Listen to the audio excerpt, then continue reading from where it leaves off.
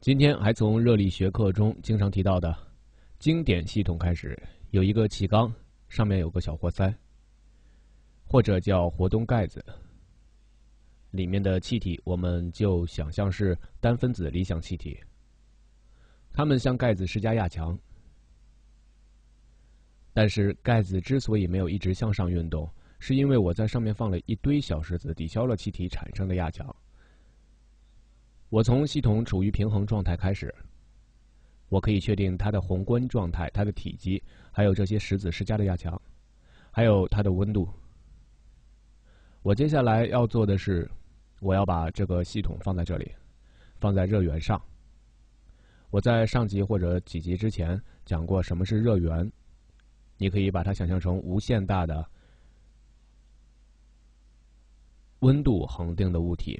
所以，如果我把它放倒，如果我把系统放到热源附近，然后假设我开始从系统中拿走石子，在几集之前我们讲过，在绝热过程中，绝热是什么意思？如果系统与外界隔离时移走石子，周围没有热源，体积会增加，压强会减小，实际上温度也会减小。我在几集之前已经讲过了。那么，通过把它放到比圆筒大很多的热源附近。它会使圆筒的温度保持在 T 一。你可以把热源看作是，假设体育场中有一杯水，体育场的空调设定在六十摄氏度。那无论我对水做什么，我可以把它放到微波炉里加热。但是，一旦我把它放回体育场，体育场就会让水的温度保持在六十摄氏度。你可能要问哦。难道热源放出热量，温度不会降低？它会的，但是它那么那么大，这一点影响根本无法察觉。例如，如果我把一杯开水放到一个非常大的圆顶体育场当中，水会变凉，降低到体育场的环境温度，体育场会变热，但是变热的程度非常小，你都察觉不出来。你可以把它看作一个热源，理论上来讲，它是无限大的，所以结果就是。我们不断拿走这些小石子，系统也会保持温度一定。要记住，只要保持温度是常数，热力学能也保持恒定，因为我们没有改变粒子的动能。我们接着来看，如果我不断移走石子，然后就达到某一点，嗯，这时体积增加了，我擦掉一些石子，擦掉一点石子，一些石子不见了。整体的体积会变得更大。我把它往上移一点，然后涂成黑色，涂满，差不多意思了。那么体积变大了，我来换个笔，体积变大了，大概变大了这么多。我们的粒子数不变，它们撞击盖子的频率降低，所以压强降低。但是因为这边有热源，在整个过程当中，热源都在这里，温度始终是 T 一，全靠这个热源。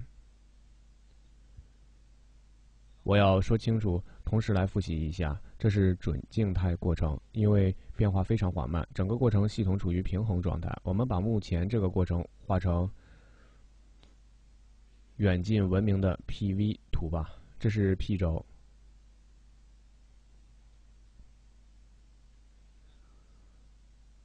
这是 V 轴，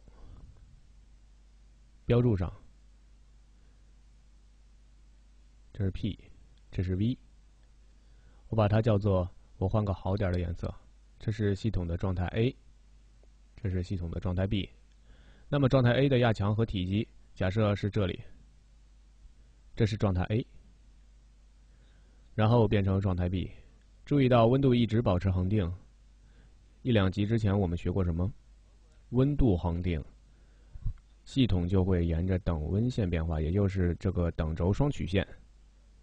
因为当温度恒定时，压强乘以体积就等于一个常数，我以前算过了。接下来移动到中间大概是这样的，移动到这里大概是状态 B，移动到这里的状态 B，整个过程当中温度都保持在 T 一。好了，我们已经讲了好几集了。我们说过，这对系统做了多少功？对系统做的功的大小就是曲线下面积。所以环境对系统做的功不是对系统做的哦，对不起，是系统对外做了多少功？朝着这个方向移动，我应该把方向画出来，从左向右移动。系统做的功的大小就是压强乘以体积，我们都见过好几次了，所以算出曲线下的面积就得到了 A 和 B 系统对外做的功，对吗？我们把它叫做从 A 到 B 做的功，就是这些。但是我还想要知道热源传递了多少热量。要记住，我们说过，如果没有热源，圆筒的温度就会随着体积的增大和压强的减小而减小。系统吸收了多少热量？我们回到基本热力学能方程上去。热力学能的变化等于系统吸收的热量减去系统对外做的功。那这是热力学能的变化是多少？整个过程温度保持不变，对吗？既然我们研究的是非常简单的理想气体，所有的热力学能都是。自动能，而温度是动能的描述，所以温度不变，平均动能也不变，也就意味着总动能不变。所以我们沿着等温线从左向右移动时，热力学能也不变。因此可以说，dot U 是零，而它又等于系统吸收的热量减去系统所做的功，对吗？所以啊，我们把系统所做的功移到另一边。然后两边调换一下，系统中吸收的热量就等于系统所做的功，这就对了。整个过程中系统都做功，它把能量给了，好吧，你懂的。实际上它可能把能量变成了石子的势能，那么系统放出能量，它对外放出能量，那它怎样保持它的热力学能？嗯，它需要别人给它提供一定的能量，是热源向系统提供了能量。所以说，而他的习惯说法是，他吸收了，我写下来好了，他吸收了能量 Q 一。我们讲过，画一个向下的箭头，表示系统吸收了能量。好了，现在我们来看状态 B，移走热源，使系统孤立，所以系统无法吸收或者放出热量。我们继续移走石子吧。如果继续移走石子，系统会怎样？来看这里，那么我们又移走了一些石子。我来擦掉比之前更多的石块，可能只剩下一个石子了。显然，体积变大了，所以我把活塞升高。嗯，我可以让活塞升高很多了。我给那部分涂满，这样这里就不会有空隙了。我把它涂满。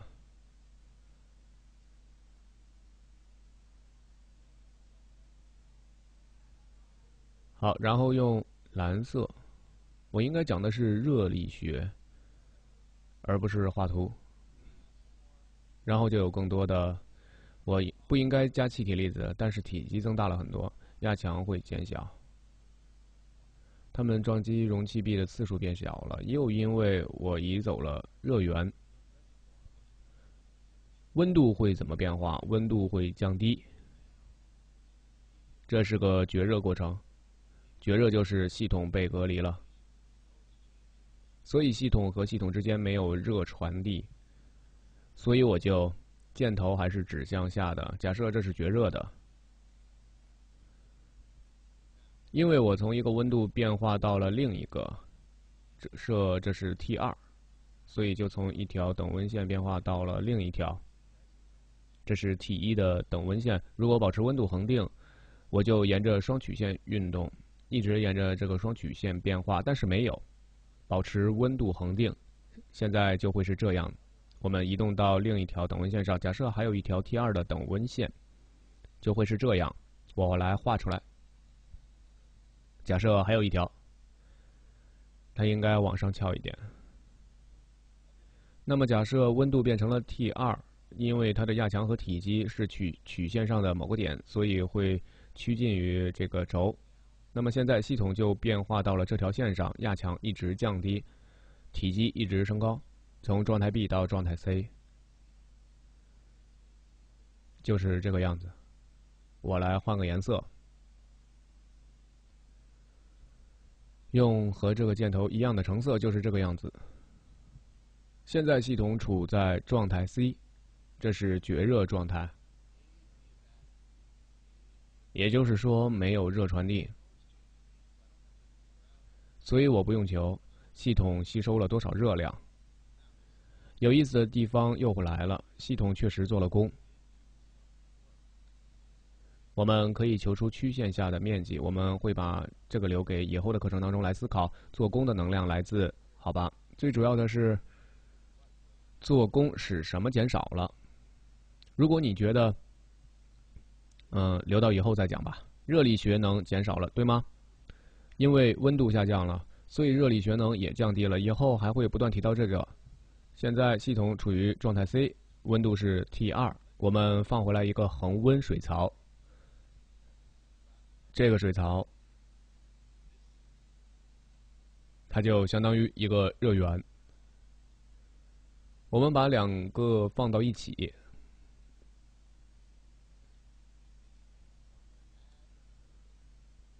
我用黑色遮住石子，所以我要把石子加回来，我要把小石子放回去。不过我让它是一个等温过程。这里有一个热源，但是这个热源和我放在那里的热源不是一样的。我把那个换掉了。当从 B 到 C 的时候，我去掉了热源。现在我换上了一个新的热源，我用蓝色的表示，因为它会是现在是这样的。我现在在加石子，我在压缩气体。如果这是绝热过程。气体就会被加热，但是我现在做的是，我需要一个热源在这里保持温度是 T 二，来保持系统在这个等温线上，所以这是 T 二。记住，这个热源其实是一种冷源，它使温度降低，和这个相反，这个是加热热源，它是温度保持较高。所以你可以想象，系统中所产生的热，或者是系统中产生的热力学能。哦，不对，我不应该这样讲。系统的温度想要升高。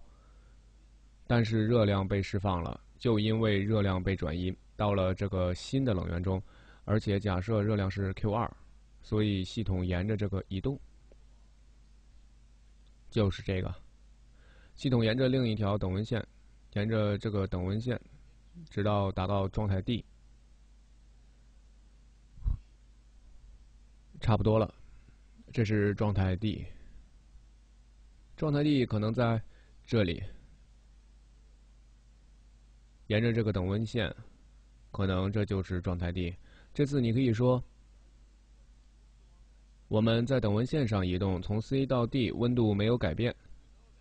我们知道从 B 到 C 的过程当中，热力学能降低了，因为系统做功了。但是从 C 到 D 温度始终如一，它的温度是，我来写下来是 T 二，对吗？因为我们这儿有一个冷源，温度不变。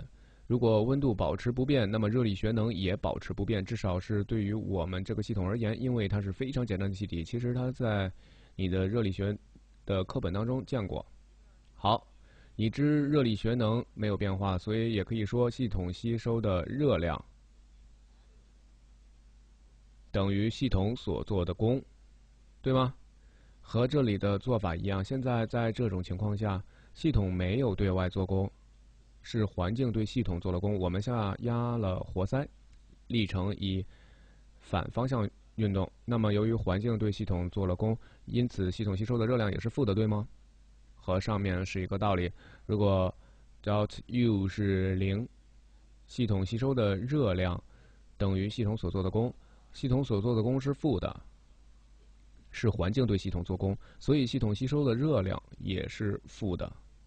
反过来想，就是系统放出热量，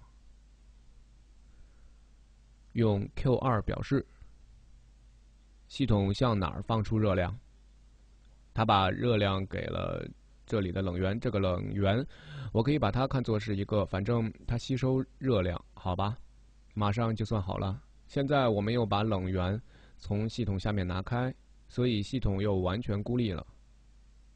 至少是从热传递来讲，我们要做的是，我们开始加入状态 D 中，这还有一点石子。不过我们又开始加石子，靠多加石子来回到状态 A。我把石子的颜色换一下，那么就又开始石子，回到状态 A。这就是这个过程。我用个不一样的颜色。比如用这个颜色，这个绿色的，加入石子，然后这样上去，从一条等温线变到上面这条等温线。提醒一下，整个过程是沿着顺时针走的。有趣的现象又出现了，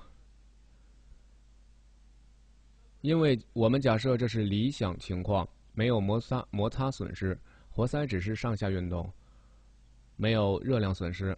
我们可以说，我们实现了，我们回到了起始的热力学能。实际上，这是状态函数的一个特征，就是只要在 PV 图上的同一点恰好相同的点，状态函数的值就相同。所以现在，压强体积、温度和热力学能都和初始状态相同，所以这里是一个完全的循环。这个循环是非常重要的循环，它叫做卡诺循环，它是以一个法国工程师命名的。他在19世纪初曾经尝试优化热机卡诺循环。接下来的几集我们会仔细学习卡诺循环，确保我们可以正确理解上。因为在很多化学课上，他们会把熵的概念直接给你，熵就是混乱度的，但是你并不知道怎么样计算熵的大小、测量熵，所以我们需要先学习卡诺循环，然后来理解关于熵的第一个概念从哪儿来呢？然后把它和现在的概念联系起来，完成一个卡诺循环的系统，